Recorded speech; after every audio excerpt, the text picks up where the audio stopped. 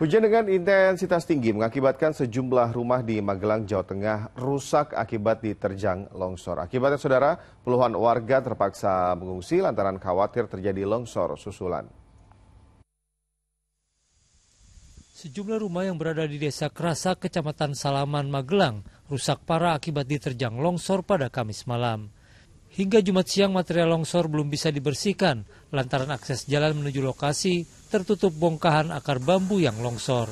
Bencana longsor berawal saat desa Kerasak diguyur hujan dengan intensitas sedang hingga tinggi pada Kamis siang hingga sore. Diduga tanah yang labil membuat tebing setinggi 30 meter longsor hingga menimpa sejumlah rumah. Tanah longsor jam 10 malam. Suaranya berbunyi gemuruh, grubiak, kerumjang-kerumjang.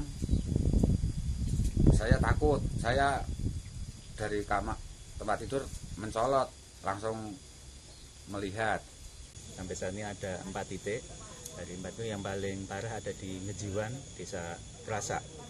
Ini terjadi dari beberapa waktu yang lalu terjadi lagi dan tadi malam Pak Kades sudah menghimbau masyarakat sejumlah 10 orang di empat kakak untuk mengungsi untuk mengantisipasi. Sementara itu petugas gabungan dibantu warga sejak Jumat siang berupaya menyingkirkan bongkahan akar bambu yang menutup jalan agar alat berat bisa menuju lokasi untuk membantu membersihkan material longsor.